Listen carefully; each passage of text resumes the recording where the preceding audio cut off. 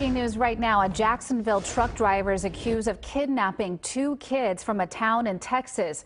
Authorities say the 47-year-old took the children all the way to Arizona before he was caught.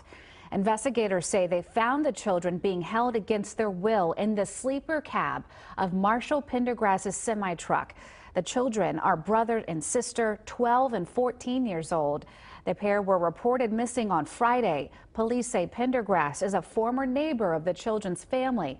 Investigators say the kids appear to be okay. Pendergrass is in custody and facing federal charges.